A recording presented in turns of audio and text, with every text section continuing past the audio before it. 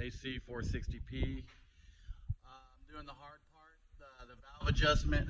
This so far has been the trickiest thing I've done. Uh, first thing you got to do is find top dead center. You can do this two ways.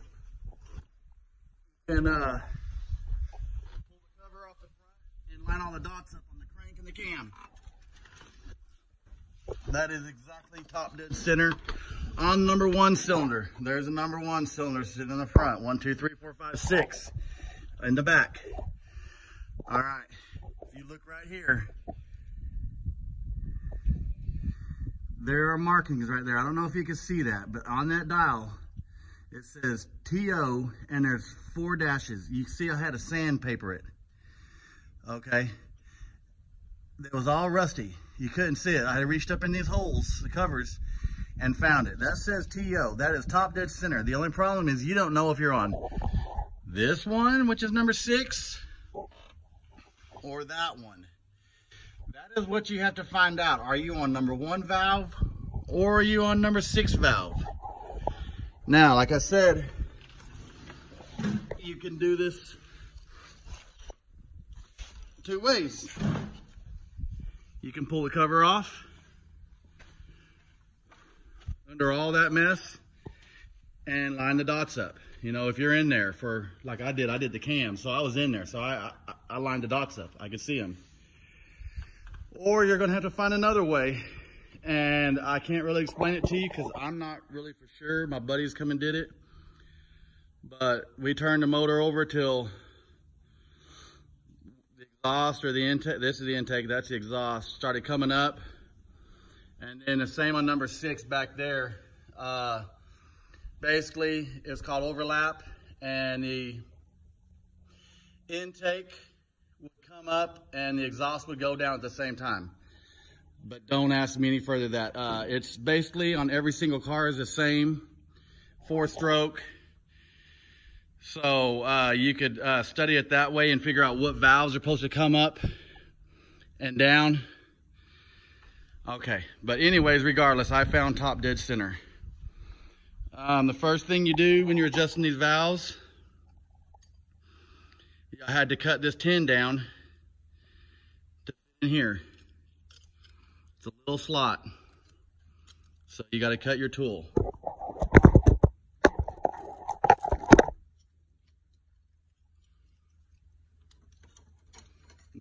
situated here.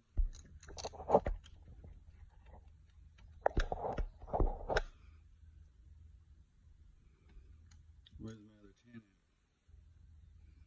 Well, I already put it up, so. we gotta find it again.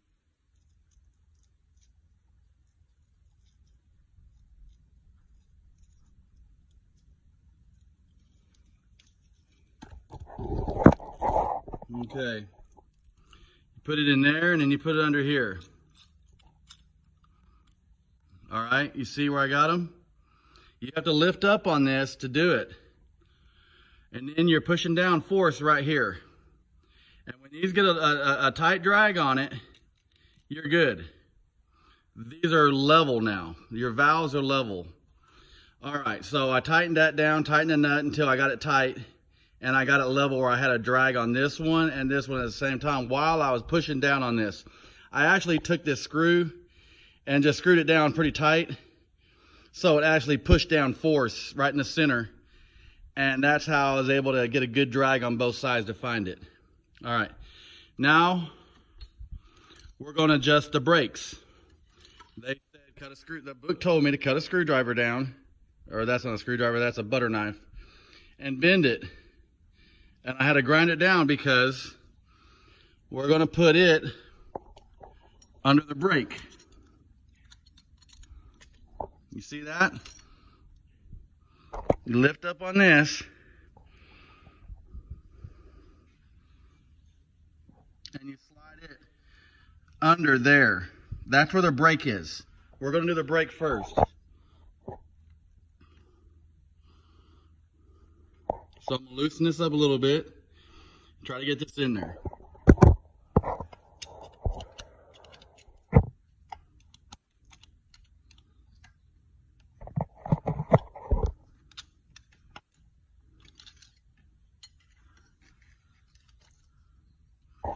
Okay, you can see them in there. See it? Now, with this spring, this spring, we have to tighten it down. Now, they want us to use a tool, a six pound inch torque wrench. We're going to tighten this down until it gets tension all the way on it. And we want the spring to be collapsed. See it? And I'm pushing down on it. Spring's collapsed. This ain't moving. I got it tight. Now look. Let's feel the drag on it. Too tight. See, I can't even move it. So we're going to loosen it. Still too tight. Loosen it. Oh, there's there's a drag now. Now they want six pounds of force.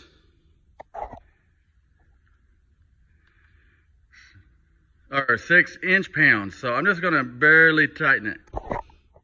That's too tight. I could move it there. Uh, so I'm gonna loosen the hair right there. You can see the spring is still collapsed all the way. All right, so there's a brake. Now, let's tighten that up.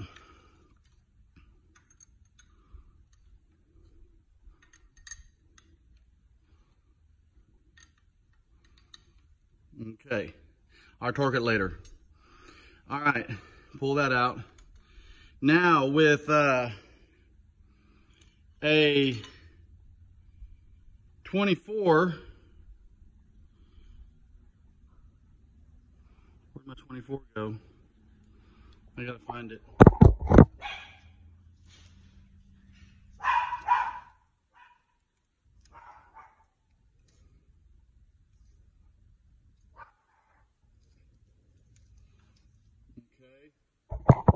Now I'm sitting on 24. Put that right here. Right there. Okay. Now we're going to tighten that.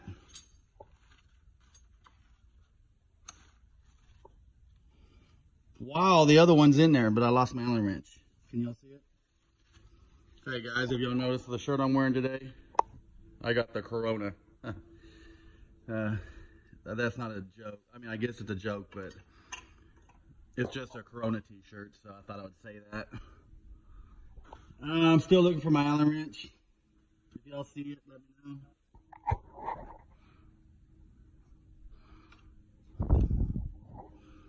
Oh, how am I gonna get that? Hmm.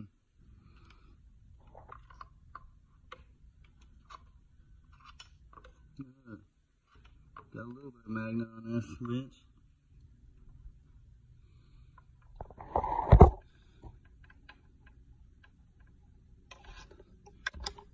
All right, we gotta tighten this up. Okay, feel the drag. Oh yeah, I felt it. That's it.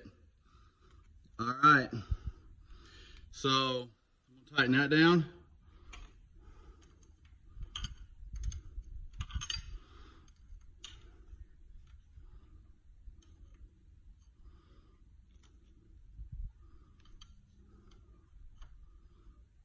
Okay, it got a little tighter. See that it, it turned while I did it, so I'm gonna have to recheck it.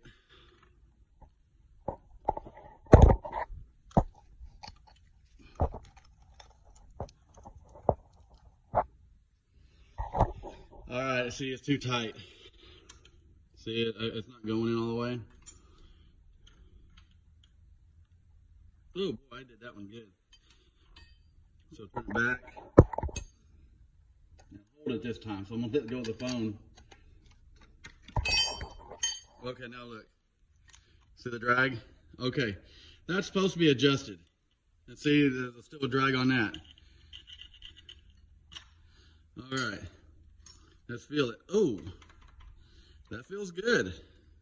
A little, little, little, you know, a little bit of play.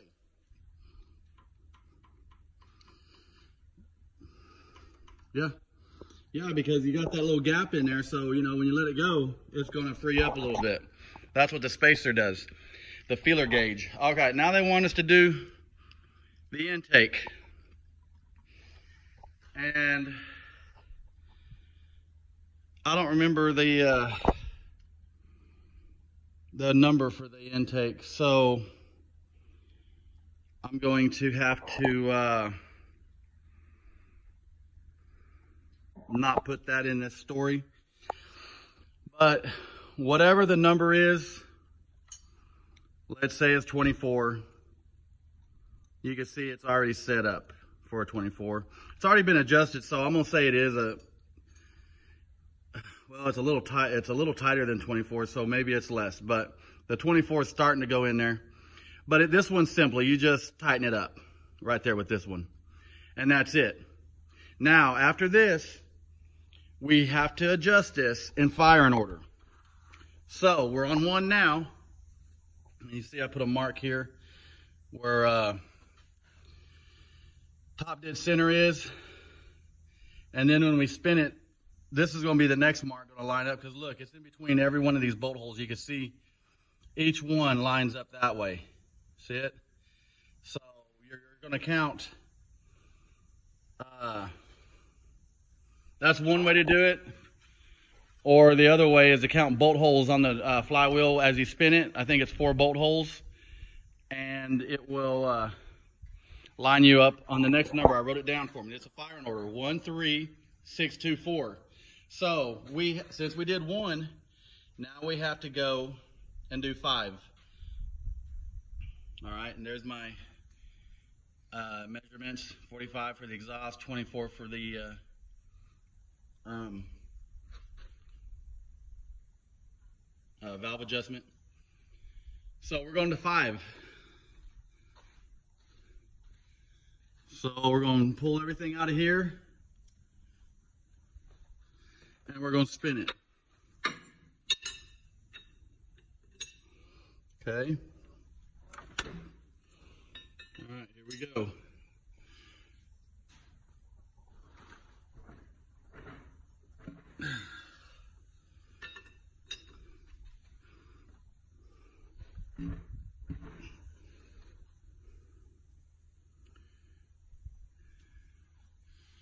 Now, that's a mark, but I don't know if it's a mark that I got to be on. Um, so I'm going to have to uh, get under there and count bolt holes. Uh, either, and I got a sand on the flywheel. It's going to say, uh, you know, see right here, I got to get under here and I got to sand that. I got to find out where five is. Okay, there's five right there. You can see that it's down. So we're not even close to getting there yet. Um, we're going to be there when that cylinder is all the way up at the top. So, uh, and this is the next, like I said, the next firing order. Um, so we got to do five. This is five. So I'm going to have to turn the flywheel over until I get to five. Until that's all the way at the top. And then when I do, I'm going to come over here and see you can count these bolt holes. You reach your hand up in here. Everywhere where this uh, clutch is bolted to the uh, transmission, that's in line with uh, um, where, where you know top dead center on one of these pistons. So I don't feel no bolt holes here. Okay, the clutch don't bolt up to it. You know, if I had a light, you could see there's no. I'm, I'm feeling right here. Well, actually, you know what? I just felt a bolt. It's right here. So that means I need to bring it over to here in line with this pointer and sand on that flywheel and see if I see any marks. But I know it's not going to line up for this one because number five is right here and it's all the way down. It needs to go all the way up to be on top dead center. So I'm going to shut the video off with those notes. Uh, and uh, hope this has helped. Uh, this is a very tricky part of it. I've noticed that this is what I'm having the hardest time on. I had a hard time finding top dead center. My buddies had to come over and help. Um, but once I get on number five, I'm gonna do all the video all over again. The same thing you just saw the adjustments on there, the same adjustments. So it's all the same, but you have to go from one, five, and in order. So I'm signing out, guys.